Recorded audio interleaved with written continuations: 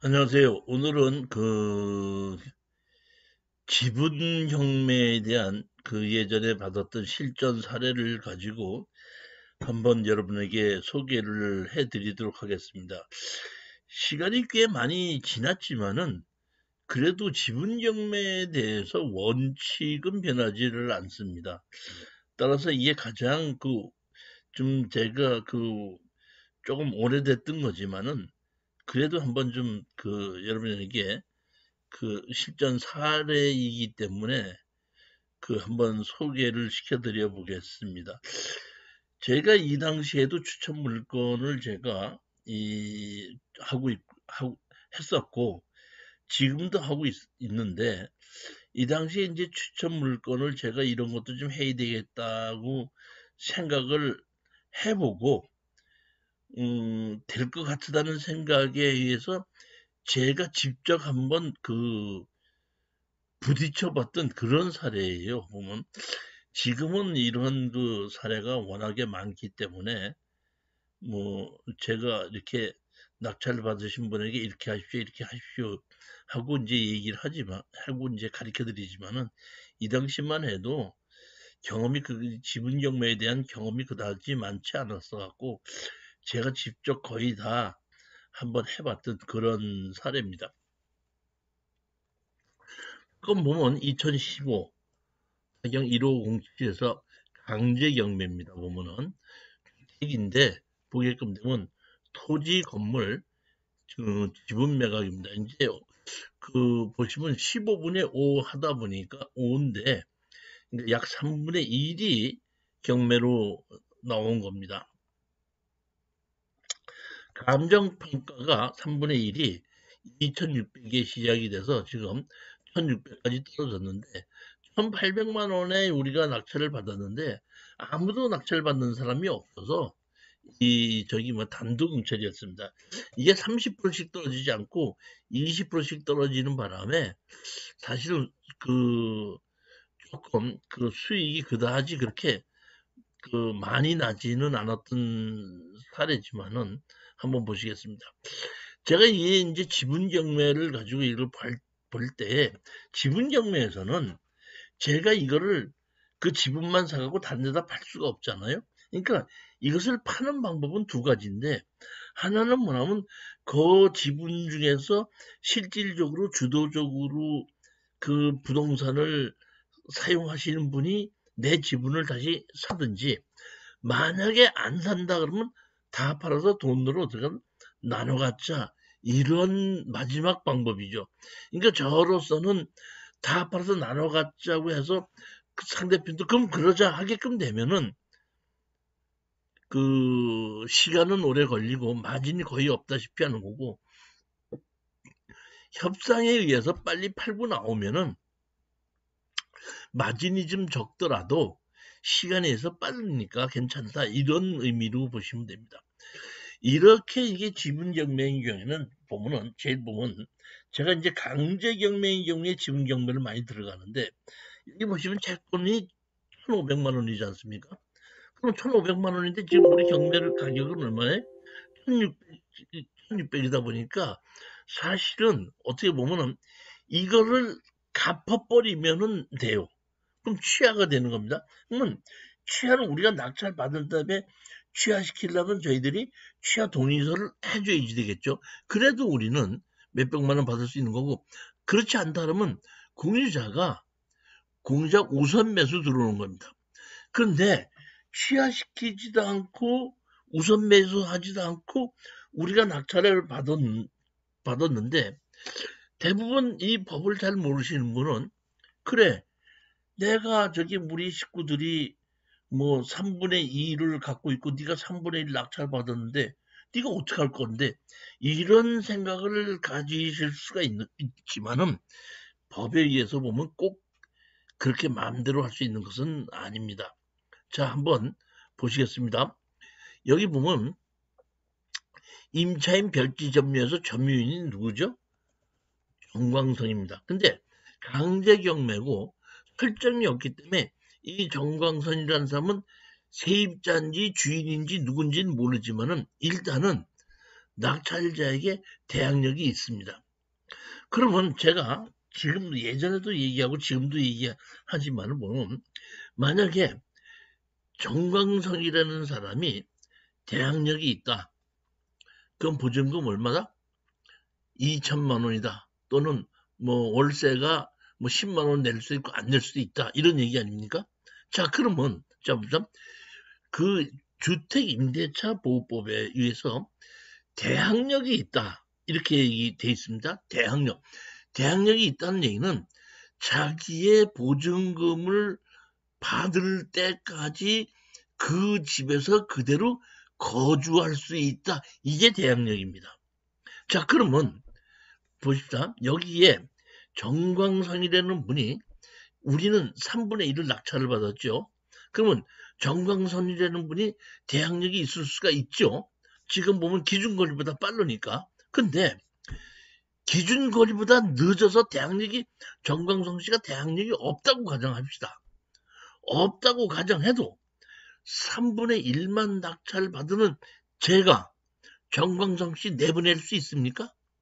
내보낼 수 없습니다. 왜? 5, 반 이상을 가지신 분이 나가라고 하든지 뭐든지 하기 때문에 그렇기 때문에 여기에 있는 기분 경매로 봤을 때에 이 대항력이 있다는 건 저는 무시해도 된다 이렇게 생각을 하는 겁니다. 만약의 경우에 정광선 씨가 저한테다가 낙찰 받았는데 나 세입자야 어떻게 할 건데 그러면 저는 이렇게 얘기하는 겁니다. 아 그럼 얼마에 세를 드셨습니까? 예를 들어서 나 2천만 원의 전세 들었어. 아 그렇습니까? 그러면 3분의 1은 제가 지금 샀으니까 먼저 번에 주인이 바뀌었으니까 계약서 다시 써야 되는데 먼저 계약서를 쓴 걸 그대로 인정을 해서 3분의 1, 2천만 원의 3분의 1은 저를 주시고 저를 주시고 저와 같이 3분의 2의 주인과 3분의 1의 주인 저와 같이 다시 계약을 합시다. 저로서는 낙찰자로서는 그렇게 요구할 수가 있죠. 그럼 장광선이가 그럼 내가 예전에 3천만 원 다 냈는데 뭐 그렇죠. 3천만 원 냈는데 그 돈은 어떤다? 그분에게 달라고 하십시오. 이렇게 갈 수가 있기 때문에 여기에 정광성 씨가 대항력이 있다고 하더라도 저는 무시하고 추천했던 겁니다. 자, 보시게끔 되면 감정평가사가 한 것이 지금 보면은 얼마죠? 보면 15분의 3, 15분의 3, 15분의 3 이렇게 되어 있습니다. 자, 보게끔 되면은 이 돈을 받으실 분이 여기 보면 서울동부지방법원에 의해서 보면은 이 대위로 상속을 시킨 거죠. 그러니까 돈을 받을 사람이 누가 있는데 상속을 하지 않고 돌아가신 그 다시 말하면 그 아버지 이름으로 그대로 뒀다 보니까 거기서 강제로 상속을 시켜 놓고 상속시킨 거에 의한 그 지분권자한테다가 강제 경매가 들어간 겁니다. 그러니까 제일 먼저 등기부 등본을 봤더니 강제로 대위해서 상속을 시켰더라고요. 상속을 시켜놓고 여기 윤영철이라는 분, 이 월이라는 분에게 그거를 어떤다? 청구를 했습니다. 봤더니 백영기, 백성기, 백승기, 백윤기, 백약고 하나, 둘, 셋, 넷, 다섯 분이 있고 이 다섯 분은 제가 보기에는 남자 형제인 것 같고 여기에 윤명월이라는 분은 언원이 같습니다. 그러니까 제가 판단하기에는 아, 이 집이 제 혼자 생각이었습니다. 유영월이라는 분이 여기서 거주하고 있지 않을까 이런 생각은 했습니다.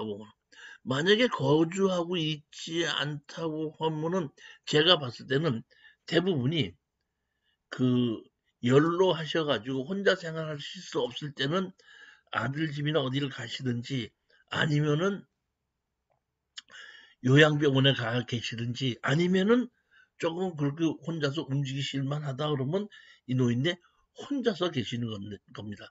근데 그 봤을 때는 아까는 우리 유가도 아니고 백가도 아니다 보니까 정가라는 얘기는 여기에 관계 없는 사람이 친인척이라도 누가 있을 수는 있다고 판단했지만은 거기에 이제 대항력이 있다 없다는 것은 대항력은 있어도 제가 아까도 말씀드린 것 때문에 크게 걱정을 하지 않고 일단은 만약의 경우에 세입자가 대항력을 주장한다면 그렇게 하자 이런 생각에 의해서 추천했던 겁니다. 집을 가서 봤더니 집 상태가 그 옛날 집이기는 하지만은 마을도 아주 그 좋고 동네가 그러니까 거주하기가 좋고 집 상태도 상당히 이렇게 그러니까 그 뭐 요 그쯤 아파트 같지는 않지만은 그래도 시골에서 거주할 만하고 더더군다나 제가 이게 제일 매력이 있었던 것이 자동차가 들어갈 수 있는 도로에 있고 또 요 뒤에 공터가 좀 있어 갖고 이렇게 자동차를 뭐야 주차를 시킬 수 있는 그런 공간도 좀 있더라고요. 그러니까 우리는 최후의 방법이 지분권자가 나몰라라고 한다. 나몰라라고 하는 적이 있습니다. 예를 들어서 이게 어머니가 계신다든가 할 때는 그 나몰라라 할 수가 없지만은 집의 상태가 상당히 좋지 않고 여기에 살고 계시던 어머니가 요양병원에 가 있다고 할 때는 그 형제들이 그 뭐 여윳돈이 없는 한 이 지분 경매를 막으려고 애쓰지를 않기 때문에 그런 경우가 될 때는 할 수 없이 다 팔아서 나누자 그러면 전체 다를 경매로 파는 수가 있게끔 되는데 다 판다고 하더라도 금방 100%는 아니더라도 감정가의 한 70% 정도에는 팔릴 수 있을 것이다. 그런 상태가 괜찮다. 이렇게 판단이 되더라고요. 제가 이렇게 좀 바깥에서 동네도 보고 이렇게 보고 이제 요즘은 제가 사실은 이 당시는 그렇게 했는데 그 요즘은 이렇게 보면 여기에 누가 사는지를 이장님 댁에 찾아가서 이 집이 경매로 나왔는데 이 집에 거주하는 사람이 누구고 거기에 있는 사람의 주인의 경제 능력이 어떻습니까? 이런 거를 대충 조사를 하고 아 입찰에 들어갈 것인가 말까 하는가를 결정을 요새는 하는데 그 당시에는 제가 그 이장한테 가지 않고 그냥 봐서 괜찮다 싶은 생각에 이렇게 보고 있는데 안에 대문에서 어떤 분이 이렇게 문을 열고 나오시고 이렇게 쓰레기 같은 거를 이렇게 좀 갖고 나와서 저기 바깥에 있는 쓰레기통에다 넣고 가시는 걸 이렇게 제가 봤는데 제가 보기에는 남자분인데 한 60대 중반쯤 돼 보이시더라고요. 충분히 제가 봤을 때는 한 천 몇백만 원, 이천만 원 정도는 이 집에 대해서 그 처, 살고 계신 분이 처리할 수 있는 능력 정도는 있어 보인다. 이런 느낌이 들었었습니다. 보면.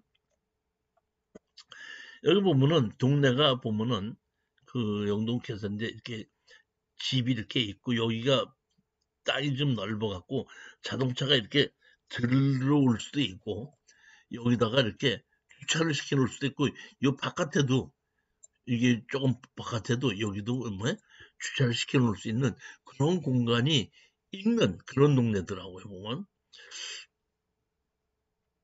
자 그래서 제가 이제 그 낙차를 추천해야 되겠다고 생각해서 이제 제가 그 우리 추천하는 그 수강생들한테다가 이거를 발표를 했죠. 이렇게 이렇게 하고 저기 추천을 했더니 그러면 한번 추천해 보겠습니다 하고 금액이 그다지 많지 않다 보니까 우리 수강생들도 이 6년 전, 7년 전에는 이 지분 경매 이렇게 하는 걸 가지고 내가 한번 해보라고 괜찮다고 하나 보니 권하고 하다 보니까 했, 했지만은 긴가민가 하더라고요. 하여튼 간에 그 낙찰을 받았습니다. 그러더라고요. 낙찰을 받았습니다. 라고 얘기한다는 얘기는 그래 네가 그렇게 시킨 대로 했는데 그 다음엔 어떻게 해야 되느냐 이런 것이 좀 내포가 되어 있죠. 음, 요새는 제가 뭐 이렇게 쫓아다니면서 막 이렇게 다 대신 그 낙찰자를 대신해서 내가 다 해주지는 못하지만은 이 당시는 제가 그 추천 물건 강의를 들으시는 분이 그다지 많지도 않고 한 달에 한 개나 두 개 정도만 낙찰을 받기 때문에 제가 시간이 나서 이 쫓아다닐 시간이 많이 있었습니다. 그 낙찰을 받았다 그러길래 제가 영동이니까 제가 이 창원에서 우리 그 추천 물건 강의를 할 때 창원에 계신 분들이 이거를 낙찰을 받은 거거든요. 그래서 제가 내가 한번 들려볼 테니까 가만히 계십시오 이렇게 하고 서울에서 창원으로 이제 강의하러 내려가면서 이 집에를 들렸죠. 일단은 낙찰을 받았기 때문에 거기 거주자하고 누가 살고 있고 거주자가 어떤 행동을 할런지를 한번은 음, 보는 게 좋죠. 근데 제가 처음에는 만나서 얘기를 해보고 뭐 하려고 했었는데 제가 오랫동안 이렇게 계속해서 하다 보니까 연락처만 알려주면 되더라고요. 그러니까 이것을 이 경매를 다 아시는 분은 취하를 시켰든지 공시적 오센 매수를 들어오는데 이렇게 낙찰을 받아서 어떻게 된다는 걸 모르시기 때문에 그래 네가 지분으로 낙찰을 받았는데 어떻게 할 건데 이런 식으로 나오기 때문에 대화가 안 돼요 보면은 저는 항상 차에다가 그 제 전화번호하고 그 F 용지에다가 적어 놨습니다. 어, 이 토지와 건물을 지분으로 낙찰받은 사람입니다. 연락 바랍니다. 이렇게 차에 있는데 일단은 제가 내려가면서 이게 집을 찾아가서 앞에 차를 세워놓고 문을 두드렸는데 아무리 두드려도 안 나와요. 아무도 없더라고요. 그러니까 집이 비어있더구만요. 보니까. 그래서 할 수 없이 대문에다가 제가 그 써붙인 거, 써놓은 거를 가지고 붙여놓고 이제 창원으로 내려왔습니다. 창원으로 내려와서 그때 한 붙여놓기는 한 2시쯤에 붙여놓고 창원에 한 도착을 하니까 한 5시쯤 되는데 한 6시쯤, 6시 반 정도쯤 되니까 연락이 왔더라고요. 그러면서 아 저기 대문에 붙여놓은 걸 봤습니다. 경매로 낙찰 받으셨다고요? 예 그렇습니다. 그래서 제가 한번 그 거기 거주하시는 분하고 얘기 좀 한번 해보려고 제가 갔었습니다. 근데 안 계셔갖고 제가 그 연락처만 붙여놓고 왔습니다. 이랬더니 아 그러십니까? 저는 여기서 세를 사는 사람이고 집 주인이 아닙니다. 만약에 형님의 지분으로 낙찰을 받으셨다 그러면 집 주인하고 얘기하시기 바랍니다. 저는 세입자니까요. 아, 그러, 그래서 제가, 아, 그렇군요. 그러면은 그 누가 세입자니까 계약을 하신 분이 있을 거 아닙니까? 그 계약을 하신 분을 좀 전화번호를 좀 가르쳐 주십시오. 그랬더니 아, 예, 그 전화번호는 가르쳐 드릴 수 있는데 아마 전화하기가 그렇게 쉽지는 않을 겁니다. 하면서 전화번호는 가르쳐 주고 자기는 세입자니까 더 이상 자기한테다가 연락하거나 뭐 하거나 하지 마십시오. 예, 알았습니다. 전화를 이제 끊고 가르쳐 준 전화를 걸었는데 안 받더라고요. 그 다음날도 안 받고 한 일주일 동안을 아침에도 해보고 점심에도 해보고 저녁에도 해봤는데 다 안 받더라고요. 제가 판단해 봤을 때는 여기 보면은 여기에 그 지분권자가 보면 32년생이지 않습니까? 그러니까 이분이 15분의 5를 가지고 계시고 이분이 주인으로 하면서 계약, 이게 뭐 계약을 하신 것 같은데 이 나머지는 아들들이니까 다 다른 집에 가서 살고 있을 것 같고 주인을 하는 것 같은데 이분이 32년생이라고 하다 보니까 제가 보기에는 요양병원이나 이런 곳에 혹시 가 계신 게 아닌가 이런 생각이 들어요. 그러니까 그걸 알기 때문에 세입자도 아마 연락은 좀 잘 안 될 겁니다 하면서 가르쳐 준 거죠. 할수 없이 제가 뭐 연락이 안 되고 대화가 안 되다 보니까 할 수 없이 제가 그 우리 그 법무사한테다가 어, 다 팔아서 나누자 공유물 분할 소송을 하자 이렇게 결론을 냈는데 그 예전에는 이제 알아보고 공유물 분할 소송도 하고 그랬는데 이제는 무조건 그냥 낙, 지분으로 낙찰 받으면은 공유물 분할 소송부터 먼저 시작하고 만나기 시작을 합니다. 지금 바뀌었습니다. 근데 그 당시는 먼저 만나고 난 다음에 협상이 안 되면 소송을 넣는다 했는데 뭐 협상이 되고 안 되는 것이 아니라 협상할 당사자를 만날 수가 없으니까 전화도 할 수 없다 보니까 어쩔 수 없이 그 공유물 분할 청구 소송을 제가 넣게 됐죠. 공유물 분할 청구 소송. 자, 여기서 우리 지분에 대해서 잠깐 여다 보면은 이 지분권자는 2분의 1, 부동산의 2분의 1 이상의 지분을 가지신 분이 거기에 대해서 사용에 대한 권한을 결정할 수 있습니다. 예를 들어서 저 사람에게 3천만 원의 전세를 준다는 거를 이 사람에게 2천만 원의 전세를 주겠다 해도 2분의 1 이상의 권자가 그렇게 결정을 한다 그러면은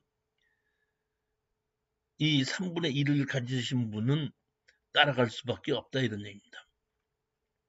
다만 이럴 수는 있습니다. 민법에 의해서 공유자는 분할을 청구할 수 있다. 분할을 청구할 수 있는데 현물로 분할하는 것이 원칙이나 현물로 분할할 수 없는 경우에는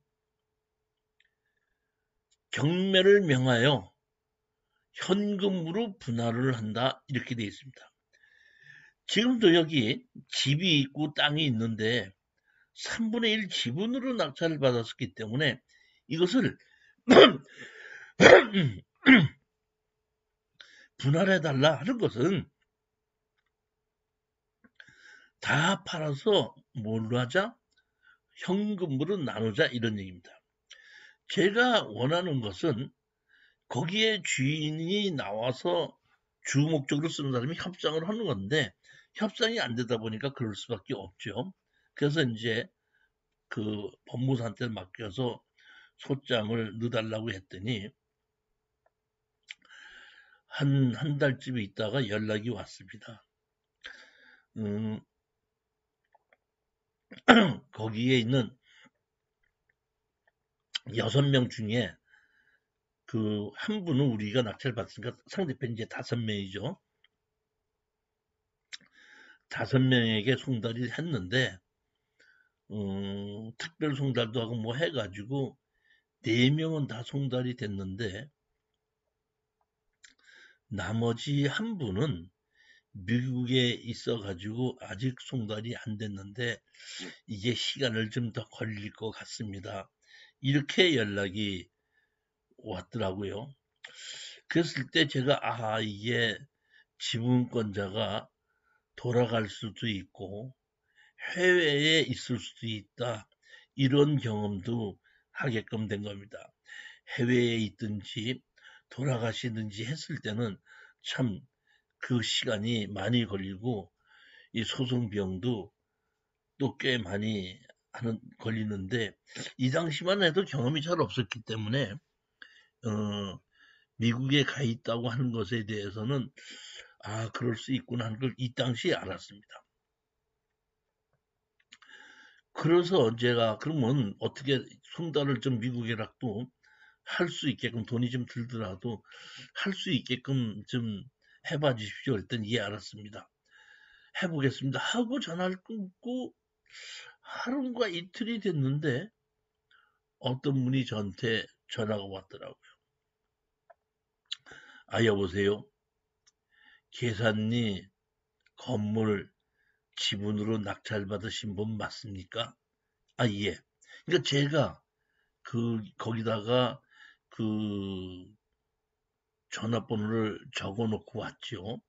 그랬더니 거기에 이제 세입자하고 통화를 했었고 이제 한 것 같아요. 그러니까 그분이 이제 전화번호를 가르쳐 줘 갖고 저한테 전화가 온 겁니다. 맞습니까? 예, 그렇습니다. 얘기를 했더니 저한테 그분이 이렇게 얘기를 하시더만요. 제가 제일 큰 형입니다. 그런데 제 동생 한 명이 어떻게 하다 보니까 일을 그렇게 만드는 모양입니다. 제가 걔한테 전화를 했습니다. 네가 벌린 일이니까 네가 마무리를 지어라. 이렇게 얘기를 했습니다. 따라서 조만간 사장님께 전화를 해서 처리를 할 예정이 오니 만약에 전화가 오면은 협조를 잘해서 마무리를 해 주시기 바랍니다.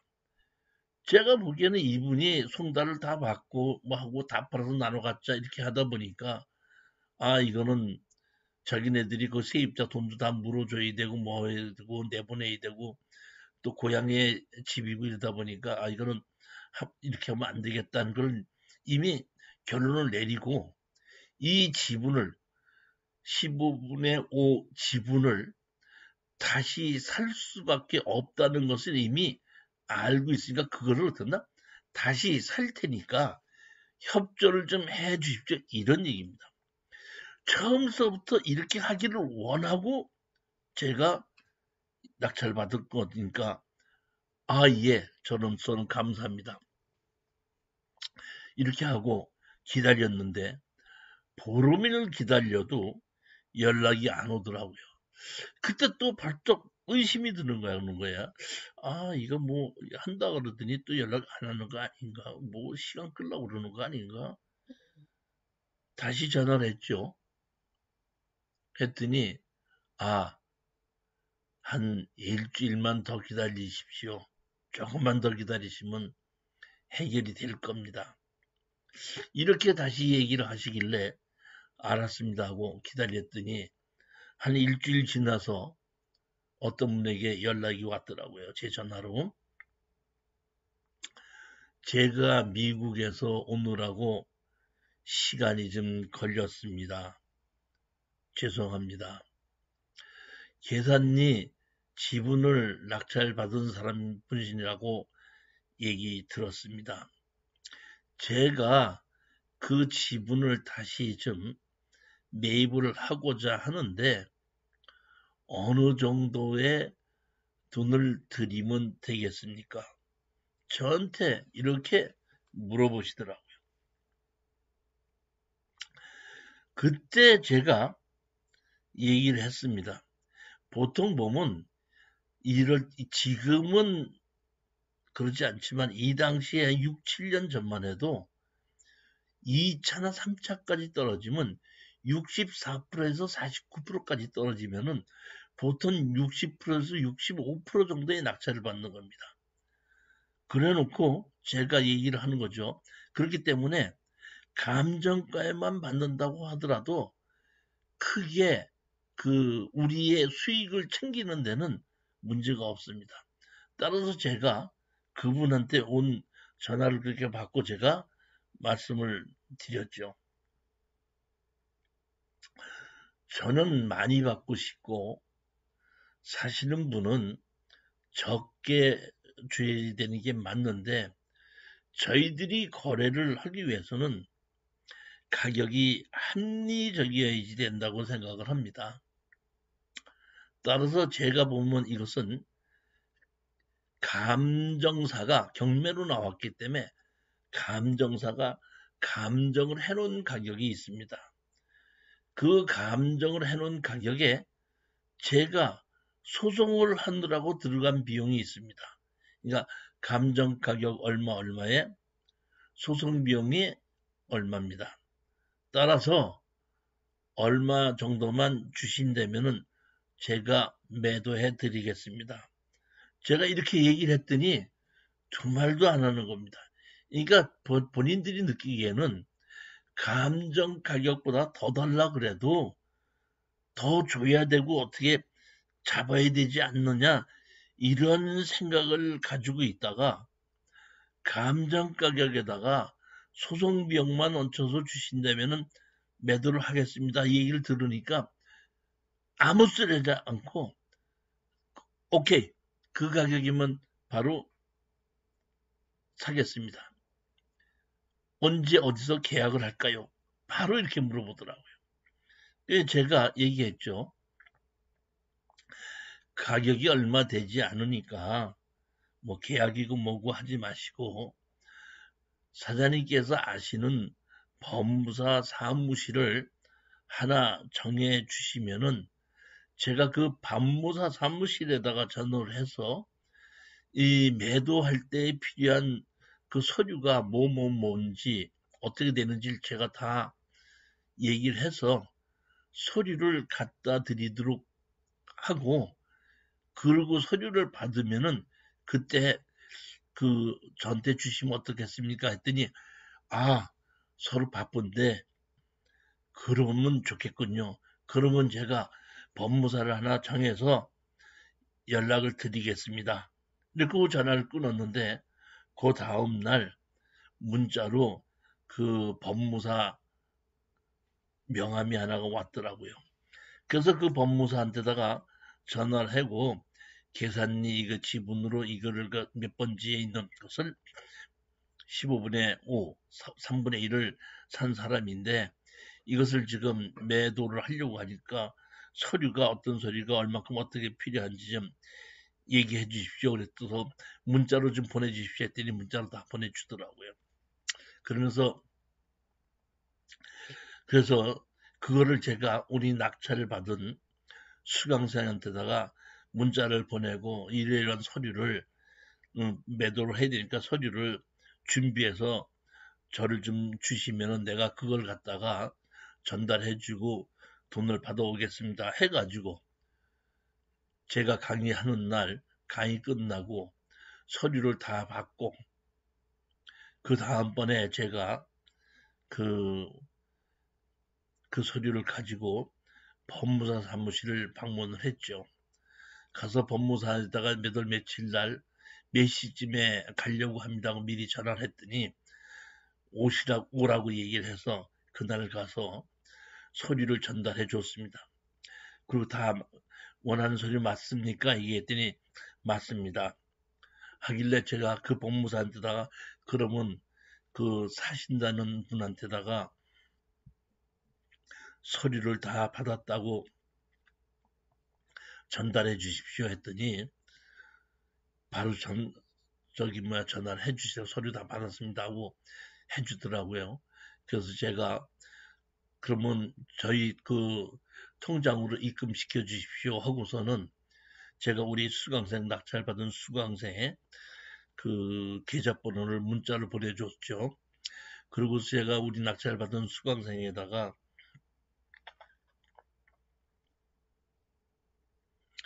입금이 되면 얘기해줘라 했더니 조금 있다가 한 10분 정도, 5분 정도쯤 지났다가 했더니 입금이 됐습니다.